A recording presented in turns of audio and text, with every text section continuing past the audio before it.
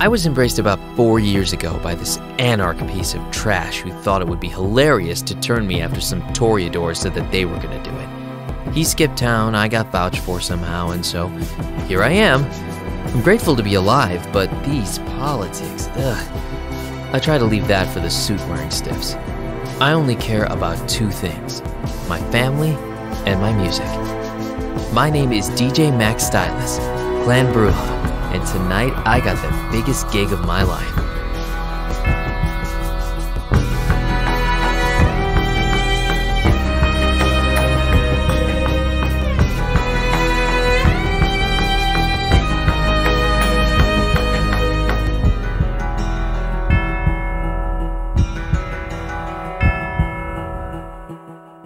Club Sepulchre, huge deal. Just gotta get there. Just gotta get there. What the hell is that sound? Oh, yeah, right. Alarm. Good evening, Khalil. I don't know how you sleep through that alarm for so long. Let me get you some manaish. La, shukran. I'm good. And we've talked about this. I don't eat regular food anymore. I know you've said, but I just keep hoping you'll change your mind on that. Mama, I don't know what to tell you. Life is different now, and I won't be eating manaish anytime soon. Ugh, it's just a phase. Yeah, but the next one is dust. Look, I love you, but I gotta go. I rush out the door and into the darkness. My set starts at midnight. That should give me enough time for clan check in and still get there. But I gotta be quick. It's a new night and nothing's gone wrong yet. Win jump on my old ass Yamaha motorcycle and ride towards the meetup spot.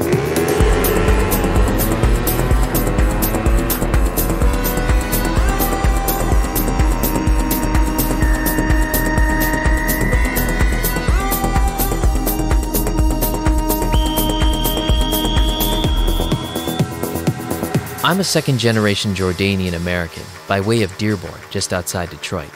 They call me a neonate because I'm new blood. But all that means to me is that I wasn't around to take part in the fight in 92 when the good vampires took Detroit back from the bad vampires. That's how it was explained to me, at least. If that's wrong, blame Roxy. She's the Brujah clan leader for the city, primogen to the prince, and a grade A weapons dealing badass. At least every other night, I'm supposed to go check in with her and catch up with everything I need to know about what's going on, as if I'm supposed to care. Anyways, I pull up to the bikini bar meeting spot to get this over with and get on with my night. Opening the door, I'm hit with the stale funk of sweat and desperation. Quickly, I see Kenny, Roxy's right hand man. He's not a big guy, but I've heard he can more than handle his own. Of course, I heard that from him.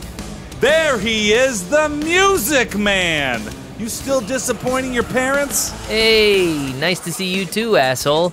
Work harder on your bait. It stinks worse than the flop sweat of your customers. Ah, you're no fun anymore. Hey, a bunch of the crew is gonna go out shooting later. You want in? Might kill something fun. Another time. Is Roxy out back? Yeah, you know it. Heads up.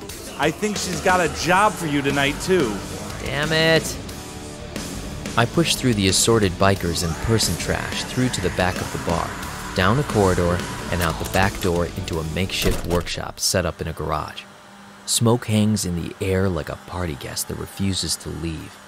Banging metal on metal with brief interludes of power tools revving drives sound waves deep into my head, making me uneasy even though I've been here countless times before. Not like I was going to get comfortable, anyways. I see Roxy hovering over a workbench, checking every angle of a rifle she no doubt intends to get onto the streets pretty soon. I'd flash a little presence to let her know I'm here, but it wouldn't matter. She's intentionally making me wait it out, because she gets off on making people feel powerless. After what feels like a year and a half, she puts the gun down and looks up at me. Max! Surprised to see you. To what do I owe the pleasure of this visit? To our arrangement? Why do you always act so surprised to see me on these expected clan check ins? Because I'm always shocked to see you keeping your word. There is no clan business that concerns you today, but I do have a personal task I need you to complete tonight. It's very important and very time sensitive. So sorry, can't do it. I got a gig tonight, a big one. Club Sepulchre. Look at you. standing here all stiff, wearing a big puffy jacket with oil drum sized headphones dangling around your neck, telling a primogen that you don't have time for a request because you've got things to do, you're adorable. You're really pulling the Primogen card on me? As if you're proud of being the prince's attack dog, especially after he stood with that Ventrue who's stepping on your turf? Oh, I get it now. That Ventrue Michael, he owns Club Sepulchre, and you're pissed that I'm playing there. You think far too highly of yourself, whelp. What you do on your own time is of little importance to me. Now, I have a package that needs delivering to a prospective new buyer. My crew is indisposed, so I need you to be the courier. Now, wait a minute. I just talked to Kenny. They didn't sound like they were on some big mission. All of a sudden, I lost the ability to put words together. Roxy was glaring at me in a steely eyed way that I had no power over. An inner voice in my head screamed at me to shut up and be respectful. As much as I wanted to tell her where she should stick her offer, I stammered a bit, then kept my mouth shut. If I may continue, I didn't lead with the best part. This is a big request on such a big day for you. How about if I absolve you of that minor boon you owe me? Or do I need to remind you of what would have happened on that lake had I not stepped in? I don't hate the idea of never thinking about that night ever again. And the delivery just has to be done by morning. So you should have plenty of time to get it done after your little show. You know what? Fine. Minor boon absolved and off the ledger for one delivery tonight. Done. Before I could even complete the thought, she had flashed over to a wall safe and pulled out a foot long, suspicious looking box wrapped in brown bags and tied with old twine. If he hadn't just been caught, I would have for sure thought that Roxy was secretly the Unabomber. Here's a name and a phone number. When you're ready, call and set up the exchange. Use the phrase, stab, stab goes the murder of crows. I want to know if he's going to be a good buyer, so I need you to stick around and make sure he's happy with the goods before you leave. No problem. I got you on this. By the way, what's in the package? Roxy carefully and intentionally reached over and caressed the target dot scope of the rifle she's been working on in a way that told me in no uncertain terms to shut my big fat mouth. You know what? Never mind. I do not need to know, and it's not important, and I for sure do not need to know. I finesse my way out of there and back to my ride. Next stop is Club Sepulchre. It suddenly hits me that there's nothing more to do between me and there. I feel ready, but what if I blow it? What if they hate my music? What if I didn't put in enough work and they throw Molotov cocktails at the booth and I catch fire and burn to ash right there and expose the masquerade? Okay, that's unlikely, but maybe? Damn it, I need a distraction. I notice a working payphone on the corner and remember that I haven't checked my messages yet tonight.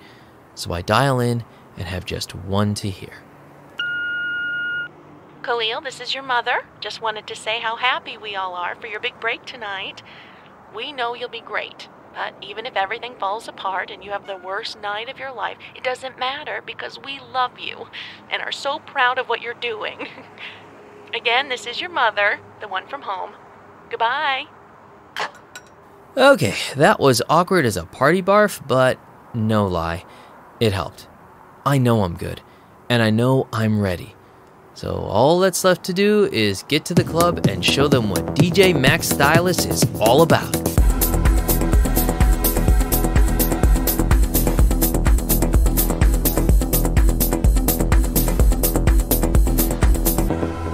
Welcome back to WCRG. It's rolling up on 2 a.m. here in the downtown Detroit area. Thanks for tuning in to Dark Skies, the late night show that goes bump in the night. I'm Jim Fisher, and I've got a caller here who had an encounter with the supernatural. Caller, you're on the line. Tell us what happened. It was crazy, man.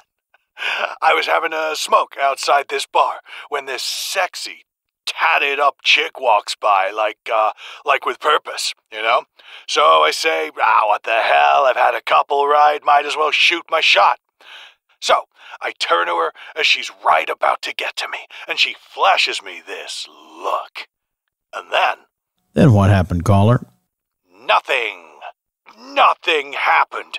I don't know what was going on, but I couldn't speak. I couldn't move. I could barely breathe.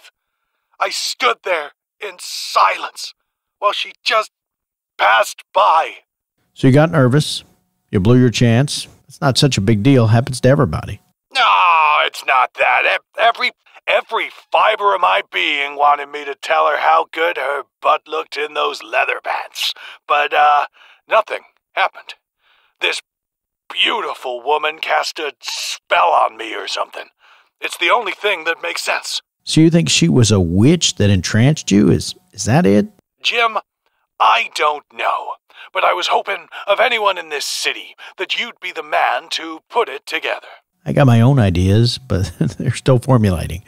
Thanks for calling, and if anyone else out there has a brush with the unexplained or paranormal, hey, give old Jim a call. This is Dark Skies on WCRG. We'll be right back.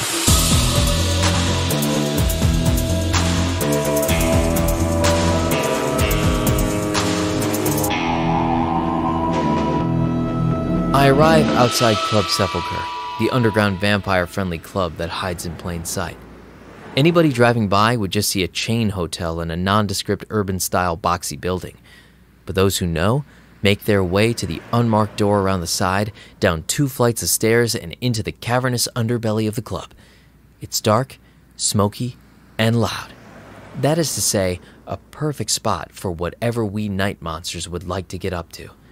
I grab my case of vinyl off the back of my motorcycle and go inside. Pushing in a bit, I see Brutus. He's the club manager and also a ghoul to the Ventrue stiff who owns it. You're here. Excellent. Given your reputation, I was starting to worry. What the heck did I do to get this reputation? I don't know. Earn it? Anyway, this is my first dealing with you, and you're here, and I presume ready? Got my stuff right here. Just need a booth to get set up. Perfect. You're off to a good start. Right this way. I had about an hour till showtime, so after setting up, I grabbed a table in the darkest corner I could find. The club was kind enough to hook me up with one of their special elite beverages, so I wouldn't be hungry for the show. That was nice of them. As I sip and people watch to pass the time, a figure gracefully takes the chair opposite mine. No, seriously, it was like a leaf floating through the air off a tree and finding its resting spot, but like the leaf was in the shape of a woman in a short black dress and combat boots. I don't see the point in picking the darkest place to sit when you're wearing the brightest jacket in all of known creation. Hello, Tori the Toreador. One of the first vampires I met after I turned, and probably the closest thing to an actual friend I found in my unlife. If my embrace had played out the way it was intended, the two of us would for sure have been in the same coterie. Seeing her tonight filled me with both gladness and dread, because it was possible that she was here just to support me, and equally possible that she was bringing something I didn't want into my life. Hey, I still can't believe your clan lets you call yourself Tori. There are no rules for us anymore. We are who we want to be. And right now, I want to be Tori. It's a little audacious, though, isn't it? Hey, Audacious is my middle name. Yeah. Wait, is it? It could be if I wanted. Do I dare to dream that you're here just to see my show tonight? Oh, yeah. I had to be here tonight to see if you'd screw it up. Just kidding. You'll do great. And I promise you, you have my full attention. Till I don't? Till you don't. I suppose that's all I could have hoped for. It makes sense to have reasonable expectations. Suddenly, Tori grabbed the drink out of my hand with an unnatural quickness, took a swig, and returned it to my hand before I could blink. Ugh. You can't taste the anemia in that? Ugh. This place used to have higher standards. okay. Good luck. And with that, she took her exit.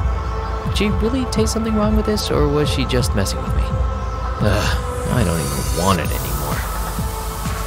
I finish the drink anyways, get up, and head towards the stage. Hey, handsome. You the DJ? Hey! You know who I am. No, I just guessed because you got a big patch that says DJ on your jacket. Then it worked. I'm Max. You staying for the show? I'm staying to find you after the show. Well, alright. Swing by backstage after I'm done and we'll see what's up. See you there. Holy snap. This really is gonna be the best night of my life. I get to the stage area, somehow focus up, and take my place. It takes me all of five seconds to immerse myself in the moment. I know my tracks are top level, my scratching is elite, and my wall of sound is nothing they've heard before. I'm one with the moment, and every move feels natural. Every action is flawless. I am the music, the music is me. We are a single entity beaming with focus. The moment is pure. This is what I've been struggling to get. This is the high I have been chasing. I never want this moment to end. And in a split second, it does. I assume it's Tori right away. Nobody else I know can shoot that fast. The show's over. No point in lingering. I can send my cousin for my stuff during the day. When action like this happens, the smart choice is to get out quickly. So I throw my hood up over my head and join the masses trying to escape out of one of the back doors. I get to my motorcycle and sigh because unfortunately, that dumb package wasn't stolen. I rev my engine to cover the sounds of the wild and upsetting profanities erupting out of me. Take off into the night.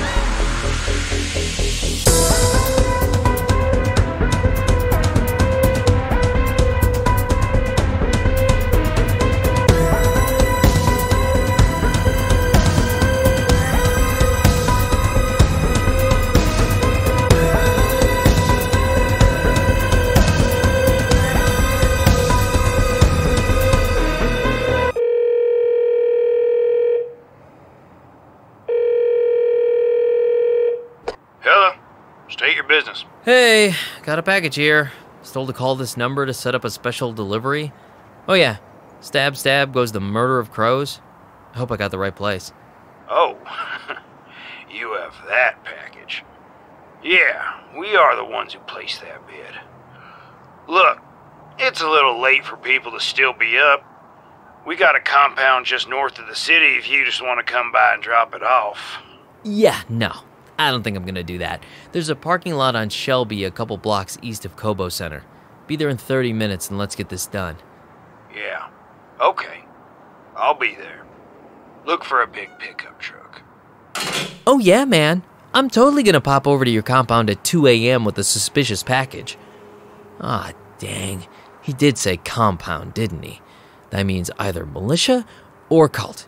Both could be a problem for different reasons. Ugh. I guess in a deal like this, it was never gonna be Mr. Rogers. Why would I be lucky?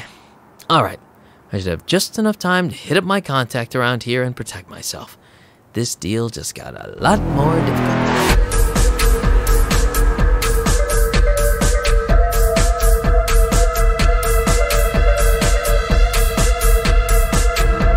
And here we are, Lily's Pawn Shop.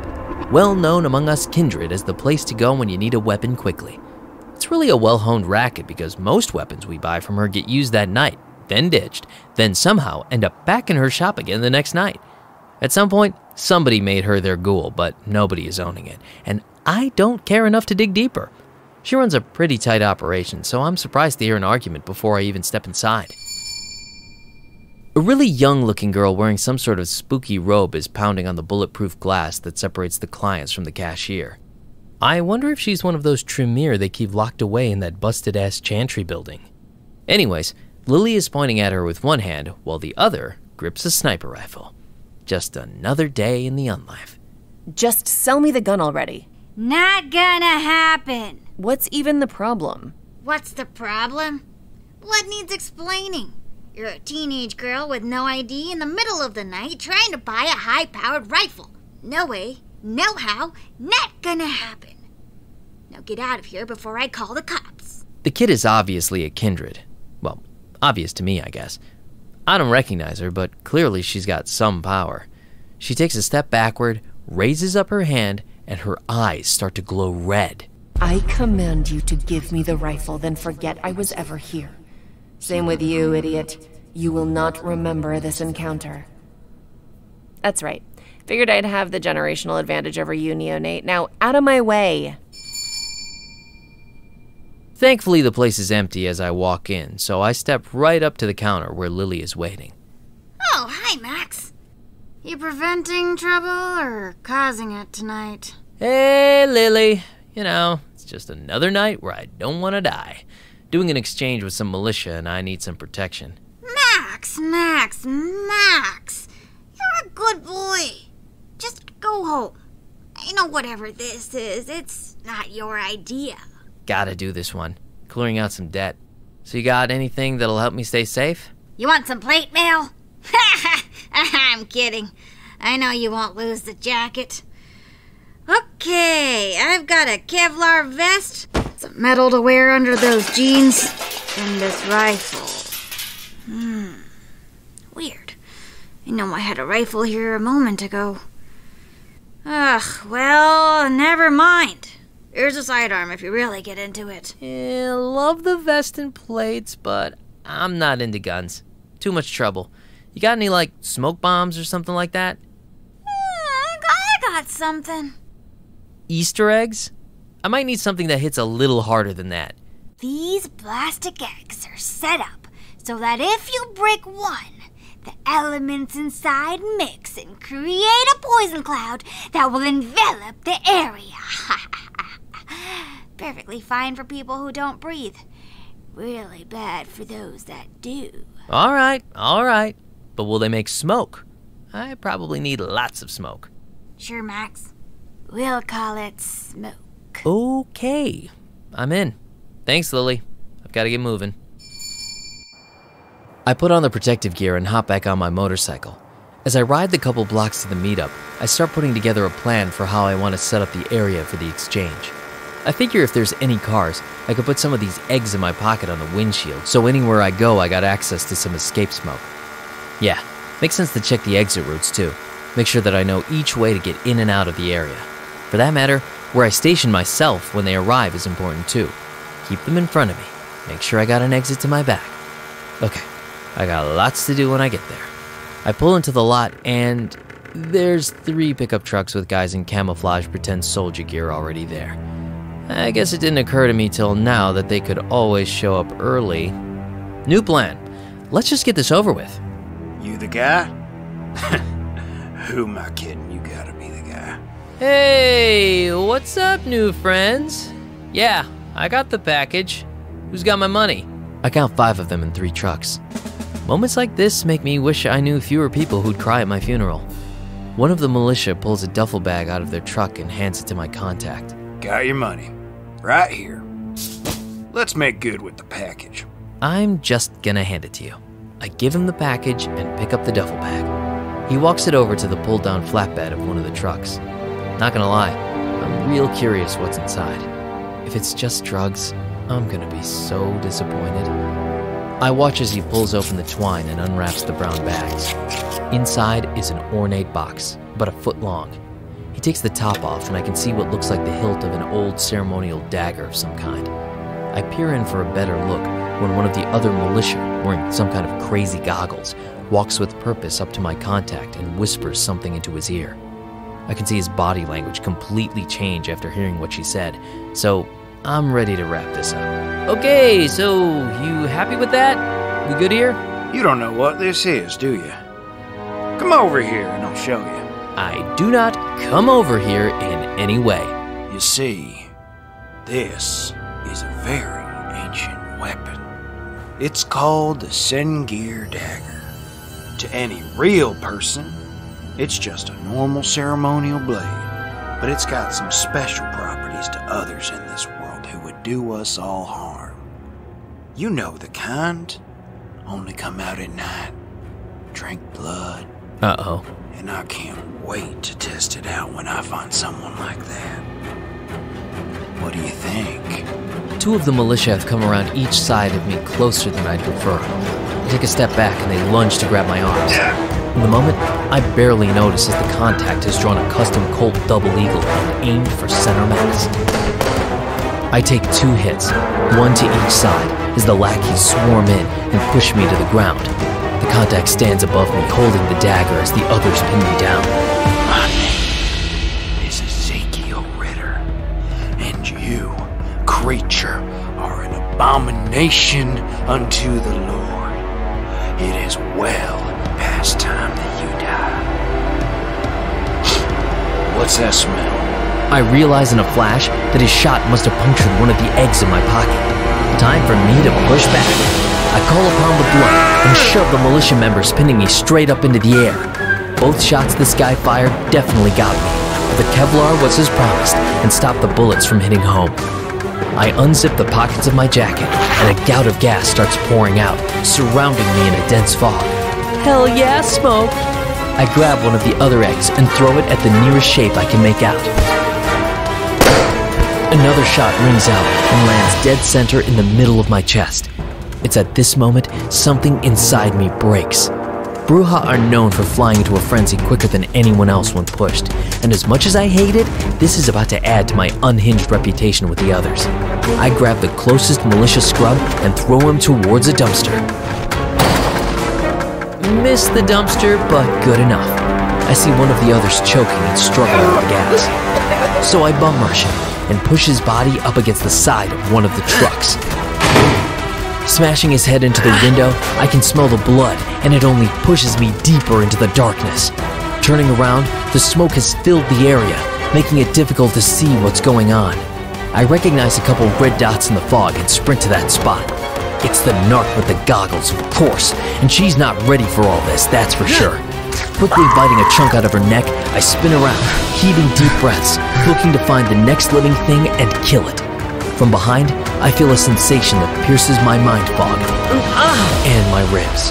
Die, monster! The blade pushes into my back and finds its way through the fibers of the Kevlar vest and makes its way straight into me. I feel the energy drain from my body instantly. I take a knee and then fall prone, barely having the energy to make sure I land on my back so I can see. The militia leader, Ezekiel Ritter, holds the dagger in front of my face, showing me my own blood on the blade. He's wearing a gas mask, which feels really unfair. My vision starts to tunnel out, and I try to make quick peace with the fact that everything is about to end. You have no idea where your kind is taken from me. Embrace death, abomination!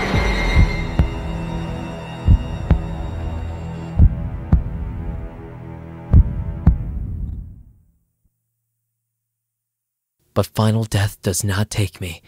With my remaining senses, I hear a hail of bullets puncture the night air. Ezekiel backs away quickly as I see a body fly and pieces of militia members pass from one side of my view to the other. As my body begins to descend into torpor, my mind casts away the moment and instead focuses with laser precision on how I'm disappointing my mother. You have so many people counting on you, Khalil. And you would let us all down by dying in a parking lot with your militia friends instead of fulfilling your promises to your family? I'm just despondent that this is how you would treat your poor mother. Suddenly, I'm ripped out of the fog like I was falling from a bridge and the bungee kicked in. I come to and find myself drinking from a heavily tattooed arm. You back with us? Good. Now get off me. Roxy? Get your shit together. There was an explosion on the other side of town, so we have a hot minute to get moving, but not much more than that. I start to regain awareness of my surroundings. I see four dead militia bodies in the parking lot. At least, I think it was four. It's tough to tell with all the missing pieces strewn about. One of the trucks is gone, and none of the dead is wearing a gas mask, so I assume it was Ezekiel Ritter who got away. I sit up and start to gather my strength to stand, as Roxy picks up my motorcycle and casually tosses it into the back of one of the pickups still here. I can hear sirens in the distance, getting closer. Roxy leans down to one of the corpses, retrieves a set of keys, and starts up the truck she tossed my bike into. You got about 30 seconds to drink what you can here and get in, or I'm leaving you to field questions that we both know you are not ready to answer. Pull myself up, slurp up what I can, and race to the passenger side of the ride, barely getting in as the truck lurches forward and away from the scene. Who were those guys? Vampire hunters from a local militia. Been on my radar for months. What was that in that package? Something called the Sengir Dagger. One hit and any one of us goes down for the count. Third question What the hell? Your minor boon is now fulfilled and off the ledger. Now, let's talk about what you owe for saving you. I removed the threat and used my own blood to prevent torpor, and they were about to bring you to final death. I'll be generous and call it a major boon you owe me. A major boon? You set me up! You put yourself in a bad situation, and without me, you'd be dust. Now accept the boon and get out of my truck. You know what? Fine. I just want tonight to be over. Hey, wait! You still got my bike in the back of the truck!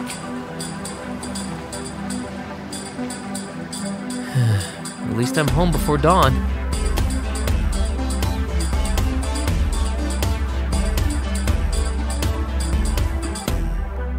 I wake up to the sound of purposeful banging on the door.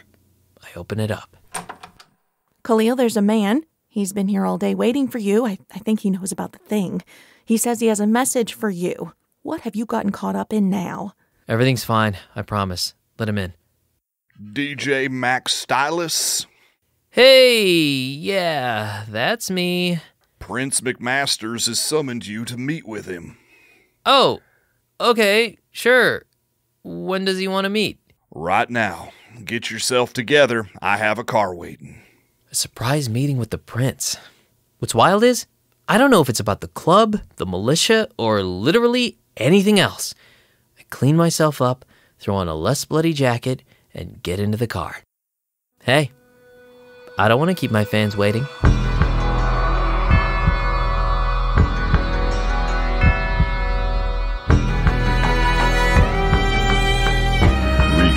Detroit, a Vampire the Masquerade audio drama. Reclaim Detroit was created, written by, and edited by Ray Stakenas. Music and sound mixing by Sean Gould. Featuring Rama Vallury as DJ Max Stylus. Also featured in this episode, Emily Churchill, George Caleodis, Phillip Wilburn, Jonathan Coop, Ray Stakenas, Crystal Storm, Phil Ranta, Josh Marble, Jen Cain, Shakyra Dunn, Sharmita Bhattacharya, and Rachel Kimsey. Portions of the materials are the copyrights and trademarks of Paradox Interactive AB and are used with permission. All rights reserved. For more information, please visit worldofdarkness.com. To learn more about the show, go to vampiredetroit.com, at Vampire Detroit on Twitter, or email us at vampiredetroitpodcast at gmail.com.